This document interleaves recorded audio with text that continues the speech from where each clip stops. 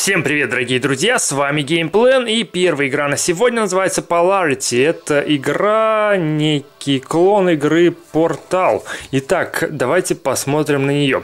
Итак, я дошел уже до второй миссии и попробуем-ка мы ее пройти. А получится у нас это или нет, сейчас мы увидим. Здесь э, у нас вот такой вот игровой мир, имеется джойстик, все очень красиво отработано, очень красиво нарисовано и управление осуществляется с помощью четырех кнопок. Это рука действия, прыжок и вот такая вот кнопочка, которая позволяет нам проходить через лазерные препятствия. Если мы выберем красный, то мы спокойно сможем пройти. Если выберем синий, то через синий мы тоже спокойно сможем пройти.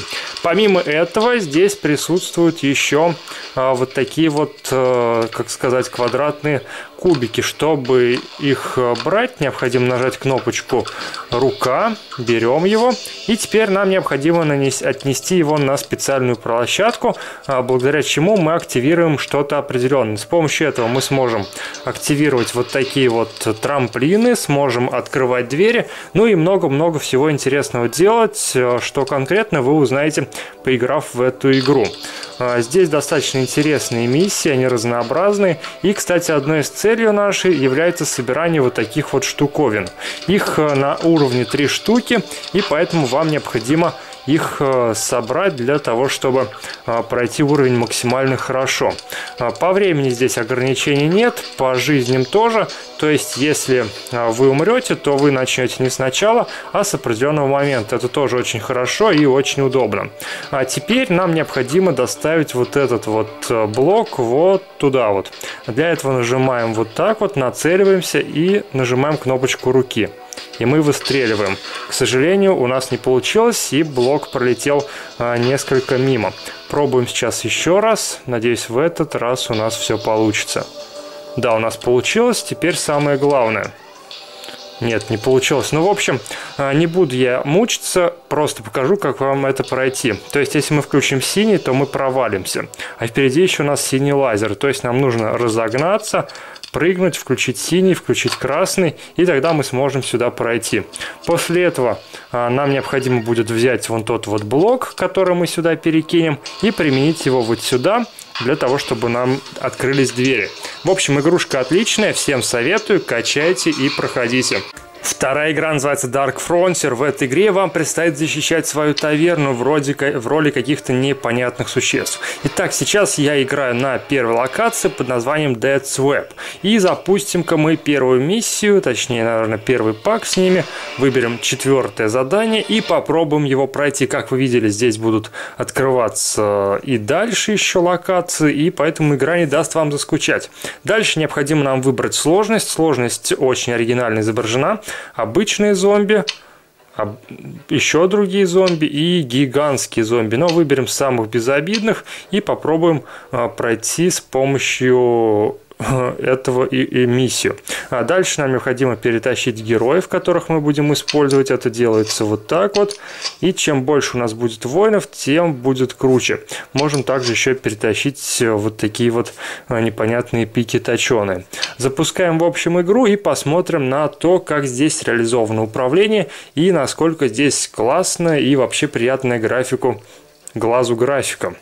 Итак, э, пропускаем все, что нам пишут, и нам необходимо управлять нашим отрядом. Для этого выбираем одного человека, это лучник, и у нас еще есть мечник. Естественно, мечника нужно выставлять вперед, а для того, чтобы он атаковал вражеских юнитов. Наша цель защитить вот эту вот таверну, чтобы ее не уничтожили. Поэтому нужно учитывать, что враги будут наступать с разных сторон, и нужно успевать вам менять позицию для того, чтобы ни ваших воинов не смогли убить, и при этом еще э, не сожгли и не уничтожили вашу таверну. Давайте отправим мечника, пусть он порубит этих безжалостных ни к чему зомби. Конечно, я понимаю, зомби хотят спасти мир от алкоголя, но наши главные герои не хотят этого, потому что им очень нравится бухать в своей любимой таверне. Но, несмотря на это, игрушка очень-очень хорошая, достаточно качественно сделана, и думаю, многим придется по вкусу. Это некая вариация э, Tower Defense вот в таком вот варианте. Третья игра под названием Alien with a Magnet. Это аркада с достаточно приятной графикой и динамичным геймплеем. И посмотрим-ка мы на нее. Запустим э, режим приключения, то есть кампанию, и продолжим на той миссии, на которой я остановился. Запускаем ее. Для этого необходимо нажать на данной миссии два раза. И приступаем, собственно, к самой игре. Вот он наш инопланетянин. Он находится на красной планете и нам необходимо собрать желательно все-все звездочки и после этого покинуть данную вселенную. Для того, чтобы начать двигаться, необходимо а, держать э, на экране палец. Как мы отпускаем, то тогда наша НЛО вместе с инопланетянином летит вперед. А, наш инопланетянин с помощью магнита прицепляется к орбите следующей планеты, и при этом нам нельзя врезаться вот в эти вот э, пояса астероидов, которые находятся вокруг. А если мы врежемся, то нам придется начать все сначала. Помимо этого, здесь присутствуют вот такие вот пушки. Попадая в них, мы выстреливаем нашим и тем самым продвигаемся вперед. Но давайте-ка я наверх не полезу, а сразу же а, полечу к этим пушкам, чтобы попробовать вам показать, как они работают. Вот так вот они работают. Нажимаем, и пушки сами выстреливают нами вперед. А, чтобы закончить миссию, необходимо вылететь из данной вселенной, а чтобы из нее вылететь, необходимо а, дойти до самого верха. Вот эта вот, вот зеленая такая непонятная субстанция означает, что мы на правильном пути и мы прошли миссию. Естественно, я не собрал все звездочки, не собрал все какие-то зеленые субстанции, собственно, которые и являются здесь э, замерителем крутости прохождения миссии. Чтобы пройти миссию максимально круто, необходимо собрать три такие вот зеленые субстанции. Как вы видели, там у нас была развилка, то есть если бы мы в синюю в синий портал отправились, то мы бы ушли сюда. Но так как мы выбрали зеленый, мы отправились на шестую миссию. Это показывает, что сюжет у игры не тривиальный и есть, в принципе, некоторые разветвления, что добавляет интересности данной игрушке. Я думаю, такая яркая аркада понравится многим и все захотят в нее поиграть. Последняя игра на сегодня называется Sword Digo. Эта игра стала доступна в новом наборе игр Humble Mobile Bundle 3.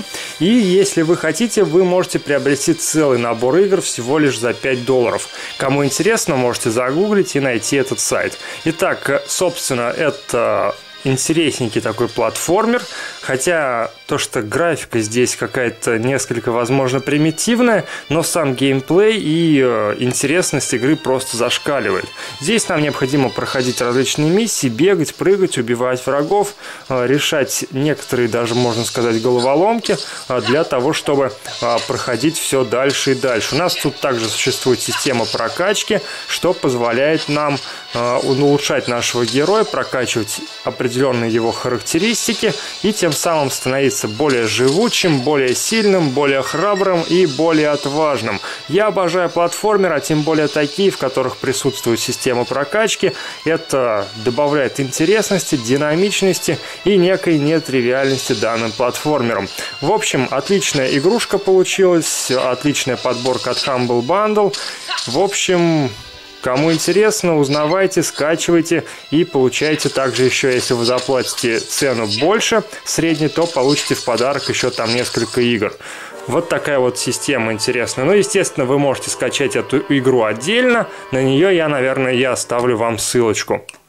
На сегодня все. Всем большое спасибо за ваше внимание. С вами был Геймплен. Подписывайтесь на канал, ставьте пальцы вверх. До новых встреч!